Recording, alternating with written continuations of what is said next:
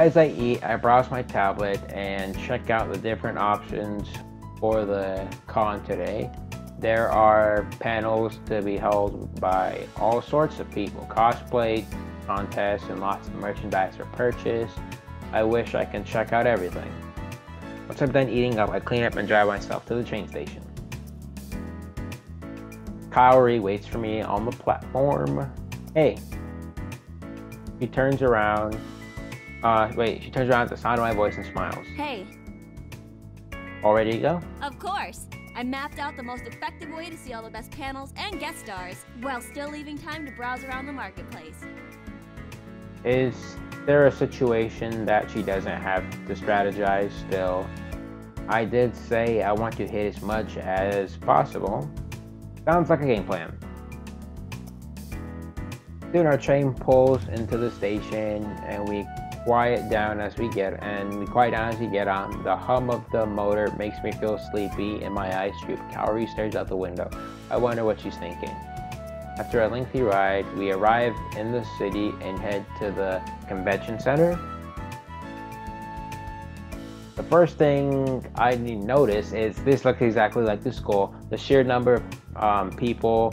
I feel like I'm back in New York after living in what's it called, Izuki for so long. I almost forget what a crowd room, a crowded room feels like. I drink in, wait, what? I drink in the sights and sounds. The constant buzz of laughter and chatter hangs heavy in the air and circles around the line. Wait, in the circle around the lines of booths, I try to read all the posters, especially the ones with cute girls on them. Suddenly, Kaori grabs my arm and I, what is it, Jlit back reality, already feeling guilty. She wasn't paying attention to me though, as she points to a group of cosplayers dressed in ninja, dressed as Ninja Rangers. Look! Go get a picture with them. You don't think they'll mind? I think they'll enjoy. They'd enjoy the attention. Okay.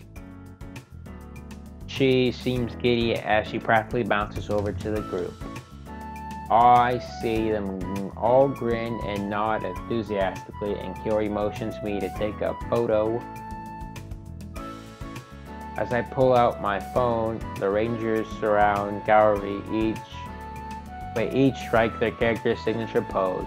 It's like I'm looking at the real Ninja Ranger posters. Thanks, guys. They give her a thumbs up and seem pleased with themselves. Kaori returns looking at the picture. That actually came out pretty well.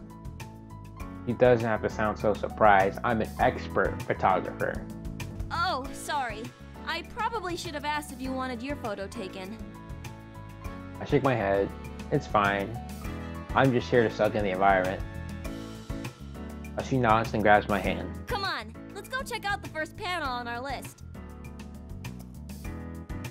Kaori seems to know exactly where she's going as she drags me through the crowd. Finally, we stop before a big sign that says, How to Make Visual Novels. I didn't know you like visual novels. I'm reading one. She shrugs.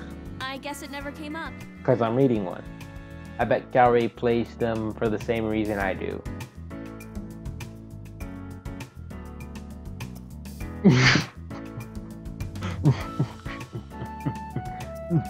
it's obvious what a character is. She must enjoy the storyline. I haven't played too many, but what I enjoy about them is they focus um, creating wait on wait what focus a lot on creating an interesting storyline and plot. Dari nods excitedly. Yes, exactly. Most games focus so much on player control. Nah, fuck it, man. We got we had to try the other option. I grin. Oh, it makes. Oh, wait, it all makes sense now. Kaori raises an eyebrow. Huh? What do you mean? Don't worry. Even the eroge VNs can have good story line, lines and character development. I'm not judging you. Gary face flushes. That's not why I play them. But you do play them. You're twisting my words. I play them for the story. I skip any of the other stuff. Lies. Sure. She punches me on the arm, although more gently than she usually does. Stop being a pervert. I rub my arm. Still hurts. Anyway, I think learning how to make a visual novel would be interesting. It would be. Let's go find a good seat. Kaori nods, and we head inside. Before long, the room fills up, and the panelists takes their seats in front of the room. Hello, everyone. I'm Dishu from Pixel Fade, and these are my colleagues. Of course, sound like. Hello, everyone. I am Dishu from Pixel Fade, and these are my colleagues. The team turns to introduce themselves as Kate, Sun, Sunshum, Rishu, and Chris. So, who's ready to make a visual novel? I bet we're gonna hear Kaori like, yeah, yeah. The crowd cheers in affirmation. I look over at Kaori, who watches intently. Let's talk about how to make a school slice of life romance visual novel. Wow, it sounds just like this freaking game. We have a four step approach to this.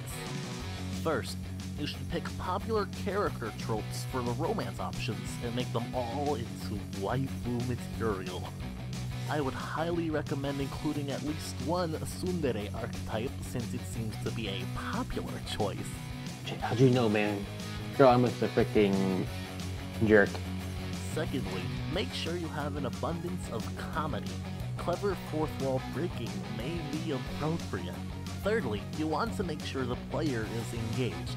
Give them choices so they feel immersed and active in the world. Shit, man. They're, they're telling me how to make a visual novel. Whoa, this Dishu guy. Right, yeah, haha. I nod. He raises some good points. And lastly, you must include words and phrases like Oni-chan, Sugoi desu ne, Senpai, and Baka at every possible opportunity. Dude, his voice cracks like, Oni-chan, sakai desu ni, desu ni, senpai, baka. If people start saying your project is for weeboos, then you're on the path to success. Weeaboos. I think weeaboos is like, uh... I forgot, I, I forgot what it means. It's like, it's a word for people who, uh... Who try to act Japanese when they're not Japanese, so I'm guessing this is a weeaboo uh, visual novel. Uh, the panel continues. Well, no, people act, you know, say they're Japanese and they're not Japanese. Um, the panel continues, and each person elaborates their specific role to provide a lot of insider information, and the crowd seems to be enjoying it. It's refreshing to see that although these guys take their craft seriously, they certainly don't take themselves seriously. In addition to this, they provide inside information about budgeting for indie development. We learned that some compromises have to be made due to limited resources, such as black silhouettes instead of full sprites for exit characters or even cameo characters. This shoot reassures that uh, us that as developers, you have to trust your fan base to understand, That's it from us. Thank you all for coming out. and tons of reused backgrounds, right? The crowd claps as they exit. Kaori and I also head out. What do you think? He perks up. It was really good. They covered a broad range of subjects. Agree. So, what's on the agenda? What's next on the agenda? Well, I'm looking forward to the panel with singer Amelie. It's not for another hour, though. So, let's go explore the market. Sounds good to me. What the?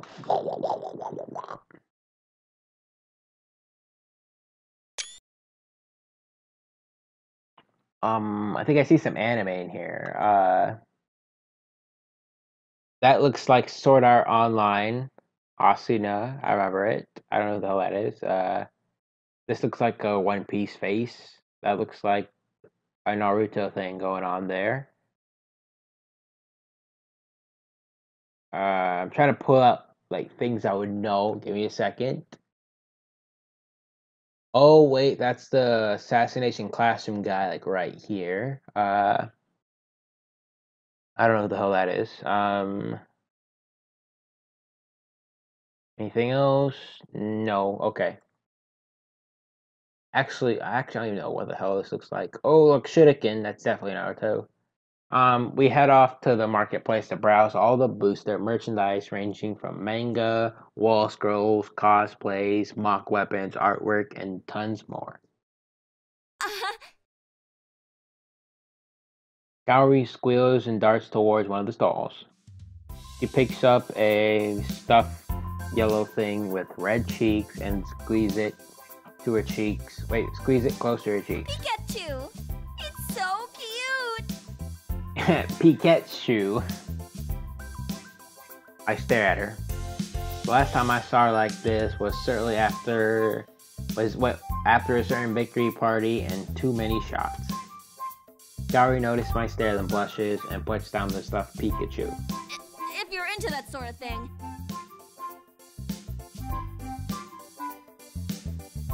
Get it for her as a gift. I pick up the Pikachu again, place um, bouncing on top of her head so it looks like it's giving her a hug, and I look straight into her eyes. It's adorable. She blushes, then I turn to the vendor. How much? Wait, I can pay for it. No. Really? You don't. No! I tap my card against the reader before Kaori can pull her pull out her own card. She pouts, then looks like she wants to argue again. I put Pikachu in front of my face and pretend to talk to it. Don't make that face up, Mark. He's just being nice. Then I use the Pikachu and try to hug her face. She dodges, but I'm relentless. I can hear her giggle. Stop. I grin and hand her wait and hand the gift to her. She smiles and squeezes it against her chest. Really? No thank you? Thank you. We wander around the marketplace for a while longer, spending equal time checking out people's cosplays as well as the booth. We found Pixel Fade stall and made a point to look at their merch. Um, they have some really cool art and posters featuring something called Crystalline or whatever that is. I looked into that. That's a new anime these guys are coming out with. I mean, anime, manga. Manga! Visual novel, book, whatever, reader thing. It's almost Emily panel. Let's go. Let's lead the way, lady. Emily panel is already. Uh, wait, wait a minute. Before we do anything else, gotta get a picture. Uh, the Emily panel is already mostly full by the time we show up, but we still managed to find decent seats. A few minutes later, the crowd erupts into cheers and applause as Emily walks out. She smiles and waves as she takes her seat at the solo panel. Hello, everyone. Oh yes, yes. Who is this? This looks like someone I've seen before in every single anime that exists. The blonde lady. Oh, oh, now we definitely gotta take a picture. She's probably gonna be in like the next visual novel, probably. Because I seen like in a lot of, I looked it up. I don't really, I, it's the only visual novel I watched, but I did uh, watch, Red. I did a bit of um, studying and stuff like um, companies that studios that make multiple visual novels. They like to take some of their characters that only do cameos or have a small part in the story and put them in a different visual novel. Um, the panel begins and she's um, she talks about what she has planned, including which song will be getting covered and how songs are created. Judging by the rapt attention of the audience, everyone seems to be enjoying the discussion. Soon as it, soon as it comes time for the Q&A section of her panel, a line forms in front of the mic to ask her question. What's your favorite cover to have worked on? The ones that are the most challenging are usually my favorite. it's fun to try something new. The ones that are usually the most challenging are my fav- are usually my favorite, but it's fun to try something new. The guy grins as the next person steps to the microphone. Do you have any singing tips? Do you have any singing tips? Emily nods and looks determined. Practice and practice. And then when you think you've done enough, practice some more. It's a simple and boring answer, but it's the truth. That's true. because we only see the end result, it's easy to forget that each video includes hours of practice and work. The audience mumbles in agreement as another person reaches for the mic. Why are your lyrics different from the source translations? Oh, that guy's from Me Too from the Me Too comments. The rest of the audience glare at him, but Emily smiles politely. Well, direct translations never fit the meter of the song, so they have to be altered slightly to fit and rhyme and flow. The guy doesn't seem content with the answer, judging by wait with the answer and hog, uh, rudely hogs the mic. People grumble in irritation, but he ignores them. Yeah, but I took that language class in high school and used Google Translate, and it was all wrong. Emily continues to smile, although I can tell now it's a little strained. It's hard if you've never tried it yourself, but if you take a direct translation and try to sing it to the song, you'll hear how awkward it sounds. The guy looks like he's about to ask another question, but one of the security guards reminds everyone that of the one question rule, and he reluctantly he yields the mic. Next person takes the microphone and smiles Do broadly. you sing in the shower? Any remainder um, tension dissipates as Emily chuckles. Yeah, and just as badly as everyone else. We um, we hear a yell from behind us. Lies. Both Emily and the crowd laugh. The rest of the Q&A sessions continue without incident. There are a collective awe as Emily concludes her panel and everyone rushes to get her autograph. The line is so long it stretches out into the hall. Can we get a signature? If it's not too much trouble, think I'd like that. Sure thing. We patiently in line. Eventually, it's Kaori's turn. Hey, Kaori blushes and stumbles to get her words out. hi. Could I get your autograph? of course.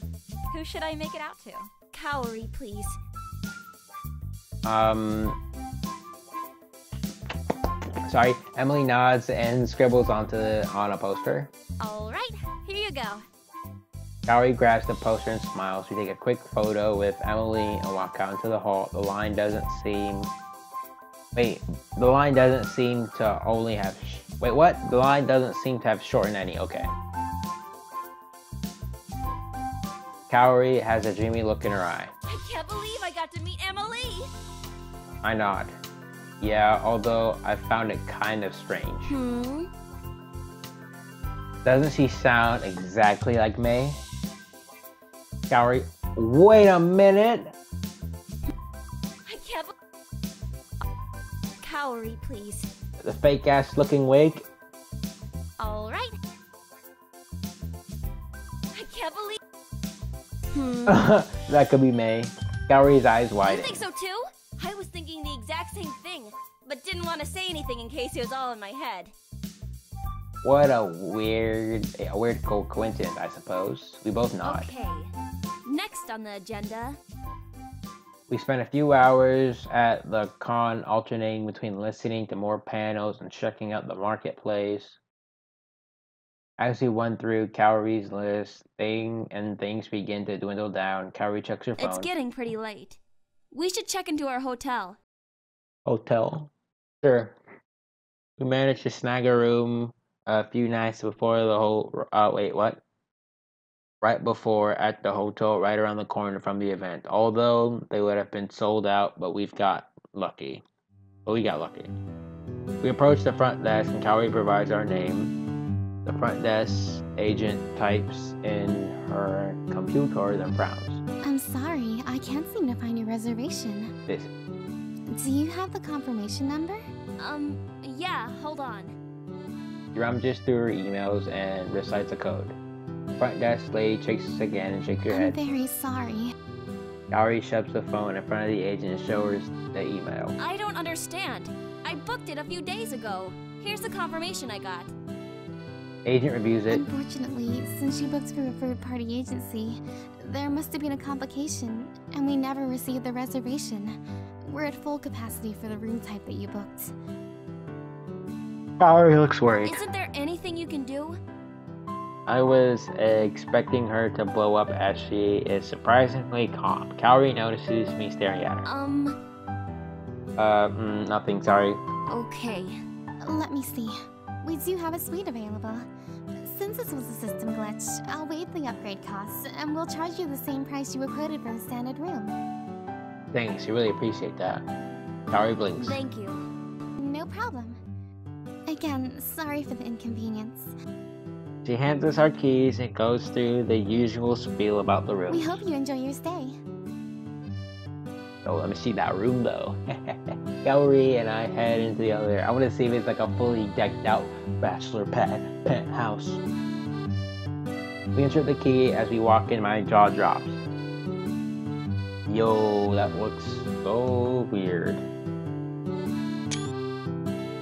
The suite is beautifully furnished with a king bed, um, a chase lodge, lounge, sorry, a chase lounge, um, a two-person dining table and chairs by the wide window which overlooks the city, soft candle light case, cast beautiful, wait, uh, playful, fuck, I can't read, soft candlelight cast, playful shadows on the rose petals scattered on the bed and a box of chocolates is enticingly opened on the pillows. Oh, a sweet, Ah, more like a honeymoon sweet.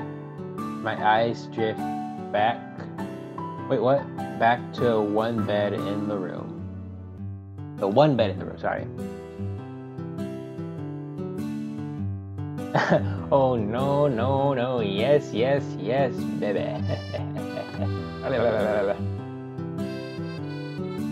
okay, okay. What are we gonna pick? Uh, I like where this is going. I'm actually right. You know what? YOLO.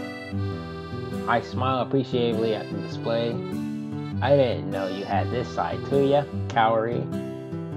Her eyes widen and she punches me hard in the arm. Stop being a pervert! I didn't book this!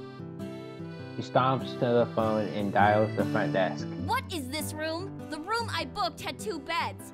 There's only one in here and other weird things. What do you mean there are no more rooms with two beds? That's what. Yes, I can see there's a couch. Kaori grumbles and hangs up the phone. So that sounds like it went well. Kaori sighs. We're stuck with the room. Nothing else is available, and I doubt any other hotels will have rooms either due to the convention. Last train to Izuki departed an hour ago. Yeah. I look uh, between the lounge and a very comfortable, a very comfortable looking bed. And we share. I mean, the bed's pretty big. It can easily fit two people. Kaori blushes and shakes her head. Well then. Fine, I'll take the bed then. Alright, I'll take the bed. I dive onto the bed, starfish in the middle. What? What do you mean? I offered to share. You said no, so I'm taking the bed. Kaori scowls and clenches her hands into fists. Get off of there! Make me. She grabs a hold of my arms and tries to pull me off, barely able to move me. Then she crosses the other side of the bed, attempting to roll me off, but I plant myself firmly in place, and she's equally unsuccessful. Kaori pouts, pleading me with wide eyes. Ah, the puppy dog eyes. Kaori's amateur compared to Nikki, who has. Wait, what? Who would have known having a sister would have proved such useful training? Nice try. You are such a jerk! Kaori grabs extra pillows on the bed and lounge. What? Kaori grabs the extra pillows on the bed and the lounge. And creates a barrier on the right. Wait, what? Right down the middle of the bed. She sits down on. Wait, what? She sits down on her side as close. Wait, what? She sits down on her side as far as she can. Wait, as far. What? Oh, fuck, I can't read. She sits down far, close to the far. Oh, fuck me. Okay, give me a second, guys. She sits down on her side, as close to the far end of the bed as possible. I'm a fucking retard. You stay on your side, and I'll stay on mine. I'll break down that wall. I'm kidding. Uh, that's what I was saying from the start. No funny business. Yes, funny Fine. business. No funny business. Sorry.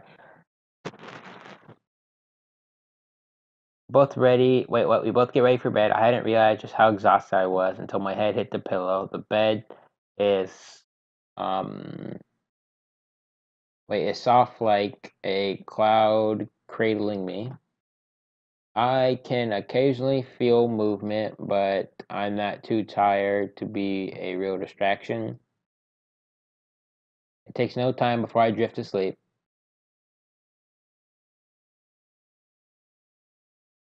My chest flies open in the darkness. I'm not sure what woke me, but I feel a small hand against my chest. Kawaii! Kawaii! That is so kawaii! Now let me get a quick picture. This is thumbnail material. This is like Everyone hit that comment section, hit that thumbs, hit the subscribe button, get those thumbs up, like the video, do do do. As my eyes adjust to the darkness, I look down to see Kaori's sleeping face. Her brow and mouth are relaxed. She looks so peaceful yet vulnerable without her fierce scowl. I gently wrap my arms around her and hold her against me. She stirs a bit but doesn't wake up. Instead, she snuggles even closer to me. I nuzzle my face in her hair and drink in her scent. That doesn't that doesn't sound very healthy. Her body fits perfectly. Oh, you hear that? Na, na, na. As if we're two pieces of a puzzle, and the and the gentle up and down of her breathing relaxes me. I never wish this moment. Wait, I wish this moment will never end. Say, say. Ooh, ooh. I've waited moments like this. Oh, I want to hold her in my arms in the tranquility of night and sleep to the rhythm of her heartbeat. The usual fire that fuels my passion. Now that I have her, I can't imagine a life without her.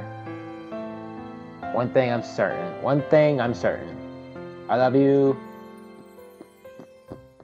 Oh, how sweet. Oh, but when you wake up. Wait. The sharp ringing of cutlery wakes me up.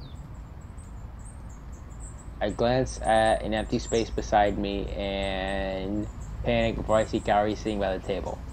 Oh, did I wake you? Wait, did I skip something? Oh, did I wake No, I didn't. I push myself to a sitting position. Good morning. Kaori smiles at me. Morning. I ordered room service. Hope that's okay. My stomach growls as the delicious smells of breakfast waft in the air. It's been so long since I had a traditional Japanese breakfast. This is perfect. I drink Kaori at the table and we dig in. I can't keep the smile off my face as we eat. What is this? Wait, is this what it's like being a couple? Kaori um, casually meets my eye and blushes. Did you sleep okay? Kaori blushes more. I wonder how she felt waking up intertwined in my arms. Yes. Actually, I had a really weird dream. Oh? Yeah. It was you and me, and we were at a restaurant. Or I think it was a cafe. That's not strange considering we've done that before. I know. We were just chatting like we always do. But then, out of nowhere, you said, Oh shit, I skipped over it. I know. We were just chatting Okay, no, like no, we I didn't. always Her face flushes and she shakes her head. Never mind. Forget I said anything. Hurry up and eat your breakfast or we'll miss our train. I grin. I guess she did hear me after all. Kaori keeps shooting glances at me as we finish, uh, uh wait, finish eating. Uh, the more she looks at me, the more embarrassed she becomes. Once I'm done with breakfast, we pack up our things and catch the train back to Yuzuki. Izuki, whatever it's called. Whatever it's called. Kaori stares out the window like before. I try to focus on the scenery too, but my gaze keeps slipping back to her. We finally arrive to, at Izuki Station. We face each other at, on the platform. Thanks for coming with me. I had a really great time. Me too. He hesitates, then quickly hugs me and lets. Wait, quickly hugs me and lets go of me. Uh, I'll see you again on Monday. Grab her, grab her. If not sooner, she smiles, which and leaves to catch the bus to Ace while I drive back home.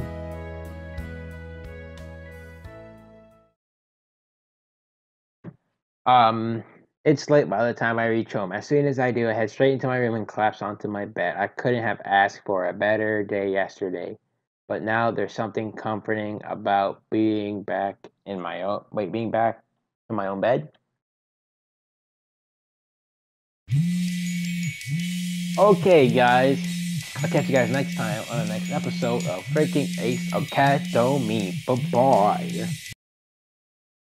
Hey guys, welcome back to Ace Academy. Uh, we woke up. Uh, actually, I didn't even read what it said. Uh, as my eyelids begin to droop, my phone rings, jolting me back awake. It's a call from Nikki. Need a ride? Of course, I answer. Hello. Thank God you're home. She speaks quickly, almost out of breath. Can you pick me up from the bookstore? Can you pick me up for her voice is garbled. I fucking heard what she said. Can you pick me up from the bookstore? I can hardly make out what she's saying. What? She pauses. There's a lot of movement on the phone before she speaks again. Please, can you get me? Where are you? At the bookstore. Her voice is clearly. Wait, her her voice is clearer, but she sounds scared. Be there in a minute. Something isn't right. I'll be there in a few minutes. Nikki sighs in relief. Maybe she broke up with her boyfriend. What, what was his name? Eric, I think? I don't remember his name. Uh, freaking Chew? I don't know. We hang up the phone. I hurried to my bike. Nikki would tell me if she was in danger. She? I try not to dwell on the thought, but uh, pick up speed anyways. Luckily, traffic is on my side. I arrived a few minutes later than anticipated. Well, earlier than anticipated. Nikki waits for me beneath the, the street lamp a few feet away from the bus stop. What I make out is Ken Stark. What? What? Oh, it's Ken. What? What I said, Derek. Um, I make out Ken's dark. Wait, what? Ken's dark mop of hair beside her. It's a little strange. She's not under the bus awning. What is Ken doing there? Nikki straightens up as I slow down. What freckles of blood stain her clothes and dark bruises on her skin. Ken steps in lightly greet me, and I wince when I see him.